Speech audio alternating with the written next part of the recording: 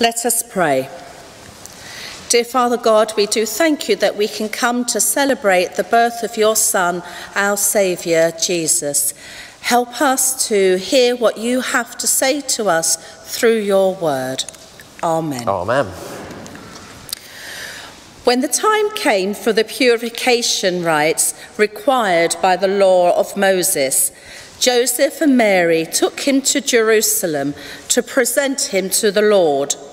As it is written in the Lord, the law of the Lord, every firstborn is to be consecrated to the Lord, and to offer a sacrifice in keeping with what is said in the law of the Lord, a pair of doves or two young pigeons. Now there was a man in Jerusalem called Simeon who was righteous and devout. He was waiting for the consolation of Israel, and the Holy Spirit was on him. It had been revealed to him by the Holy Spirit that he would not die before he had seen the Lord's Messiah. Moved by the Spirit, he went into the temple courts. When the parents brought in the child, Jesus, to do for him what the custom of the law required, Simeon took him into his arms and praised God, saying, Sovereign Lord, as you have promised, you now dismiss your servant in peace. For my eyes has seen your salvation, which you have prepared in the sight of all nations a light for revelation to the Gentiles and the glory of your people Israel. The child's father and mother marveled at what was said about him. Then Simeon blessed them and said to Mary, his mother, This child is destined to cause the falling and rising of many in Israel, and to be a sign that will be spoken against, so that the thoughts of many hearts will be revealed, and a sword will pierce your own soul too. There was also a prophet, Anna, the daughter of Penuel, of the tribe of Asher. She was very old. She had lived with her husband seven years after her marriage, and then was a widow until she was 84. She never left the temple, but worshipped night and day, fasting and praying. Coming up to them at that very moment, she gave thanks to God and spoke about the child to all who were looking forward to the redemption of Israel, of Jerusalem. When Joseph and Mary had done everything required by the law of the Lord, they returned to Galilee to their own town of Nazareth. And the child grew and became strong. He was filled with wisdom, and the grace of God was on him. This is the word of the Lord. Thanks. Thanks so much, Francis. Love it if you'd uh, keep that little passage open from Luke. And well done, children, for uh, listening to such a long reading there. And uh, children, grown ups, our subject this morning, I think, is um,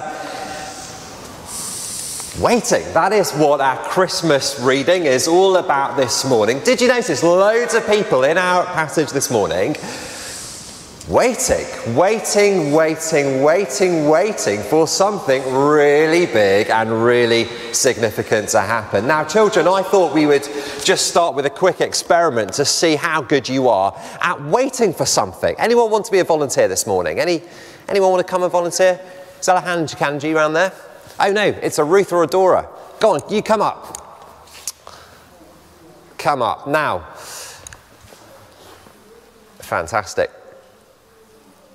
here we go. Here's a little experiment. Let's see how good we are at waiting for things. Have to say my children are not, not very good at waiting if last night's uh, amount of sleep was anything to go by. But here we go.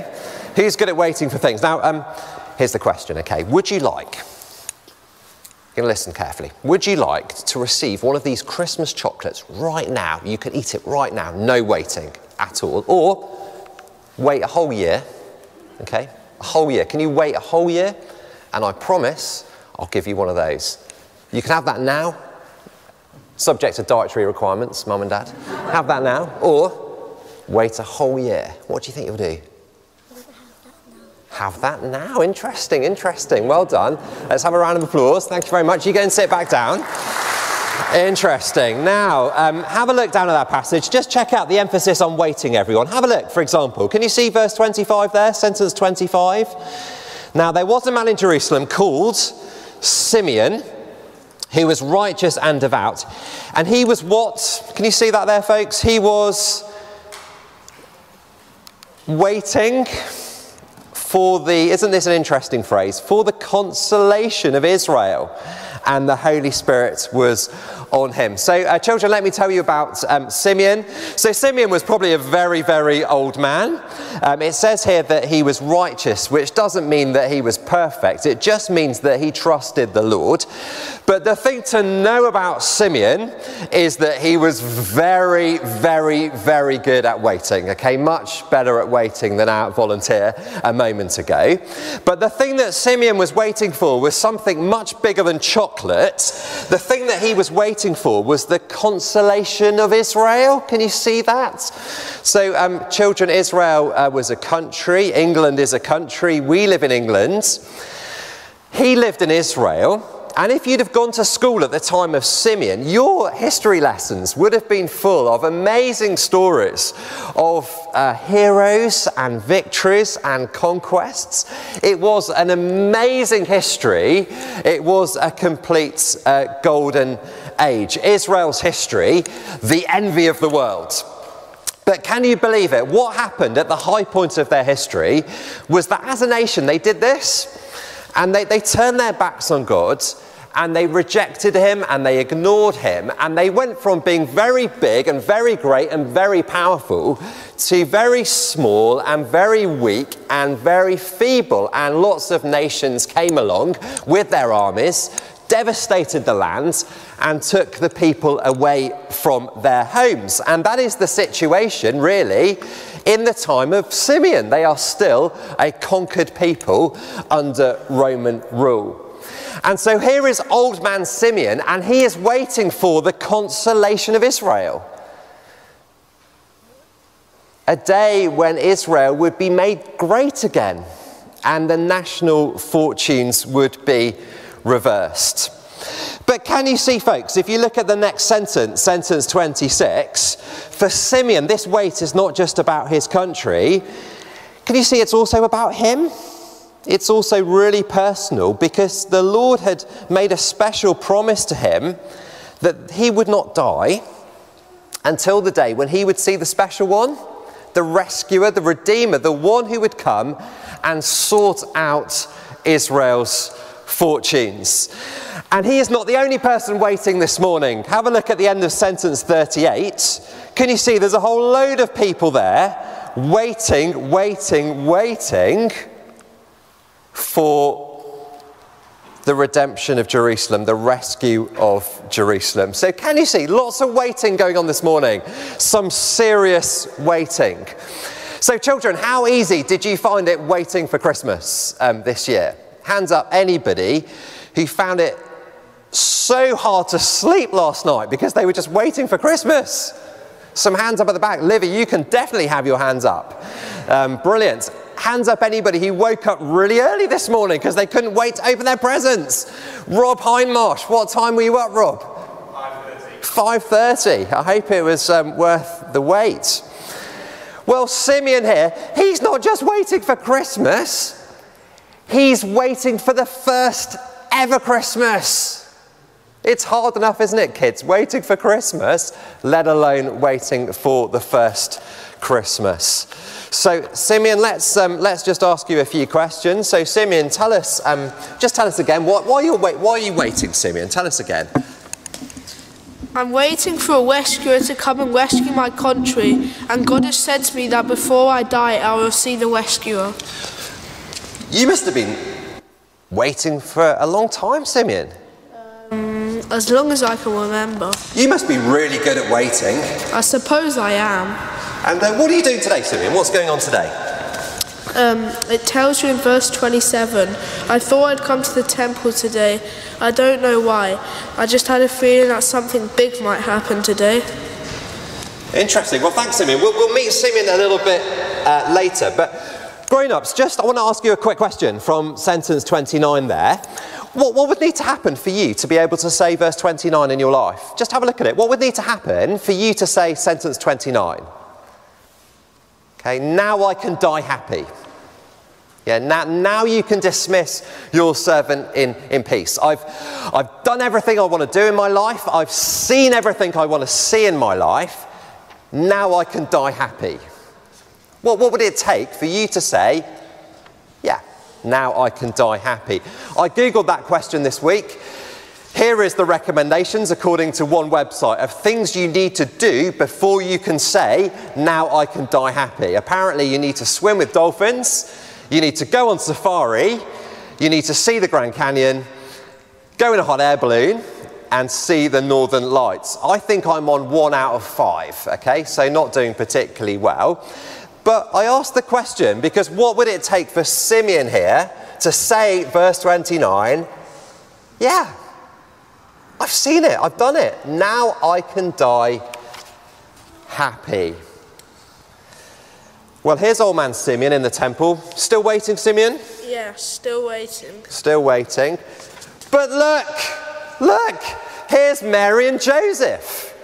They've come to the temple today to dedicate their little boy. He must be, I guess, about six weeks old or something. They've come to dedicate the boy. Here's Simeon, old man Simeon, never met before, complete strangers. Let's, let's watch, shall we, what happens when Mary and Joseph come to the temple.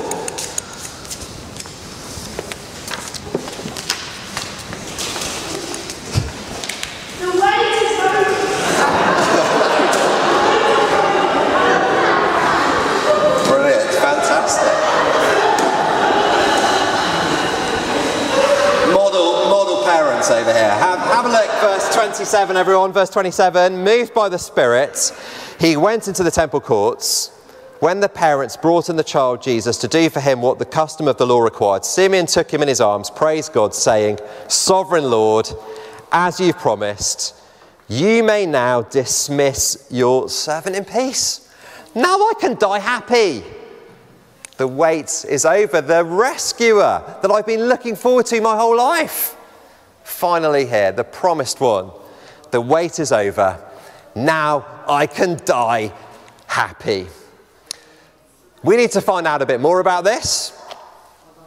What makes this child so special?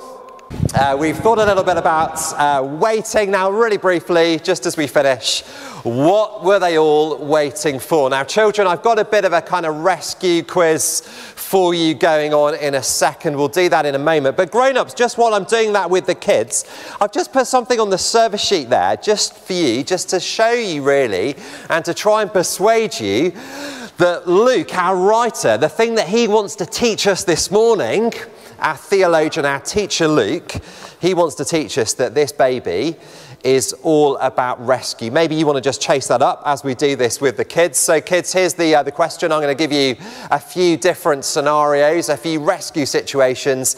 Tell me the kind of rescuer you need. Okay, so we're stuck up on a mountain. Do you want a mountain rescue guy to help you, or do you want the lollipop lady? Hands up for the lollipop lady. Brilliant. A lot of love for lollipop ladies. I like that a lot. Um, you're not feeling very well. You need someone to rescue you. Do you want the doctor? Hands up. Or do you want a footballer? Will, your love of Tottenham goes far too far. Um, and then final one, hopefully we're getting in the swing of it now. Another rescue situation. I'm at sea. I'm in trouble. Do you want a lifeguard or do you want the ice cream man? The ice cream man, Darina. There's a lot of too much love for the, uh, the ice cream. Now, grown ups, are you persuaded? Are you persuaded that Luke is lining up the clues to show us that the whole point of this baby is? Can rescue? And in particular, did you notice rescue by sacrifice? Because as Mary and Joseph came into the temple, did you notice they weren't just clutching the buggy, but in their hands, what are they holding? A sacrifice? And check out those words that Simeon says to Mary at the end of verse 35. Um, I don't know if you've been to a baby shower before. Uh, have you ever heard anyone say at a baby shower, a sword will pierce your own soul? Have you heard those words at a baby shower before? Referring, of course, to what is going to happen when Jesus dies on the cross as a sacrifice in our place. Can you, can you see the point? Luke wants us to get this morning. What is Christmas all about?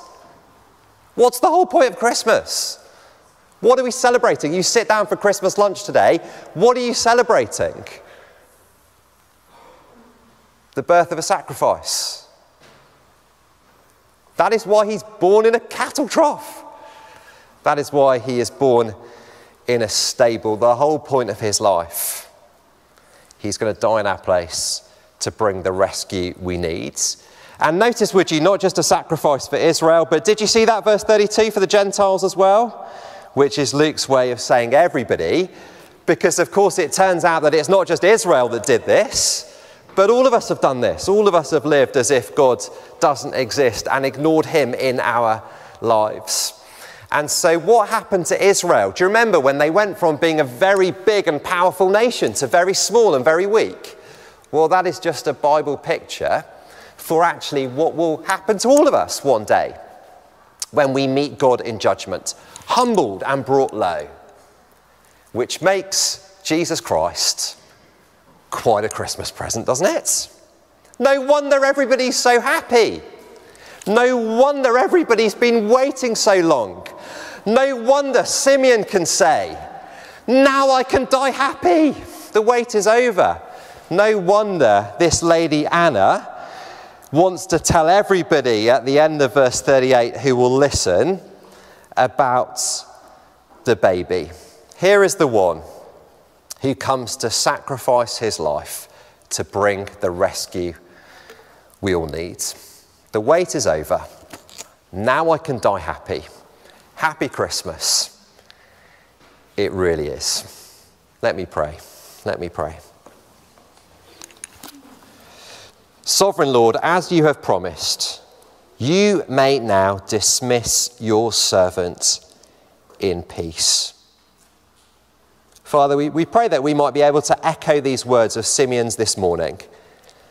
That having seen the coming of the rescuer and his sacrifice, all of us might be able to say, actually, yes, now I can die happy. The wait is over. Happy Christmas. And we pray that in Jesus' name. Amen.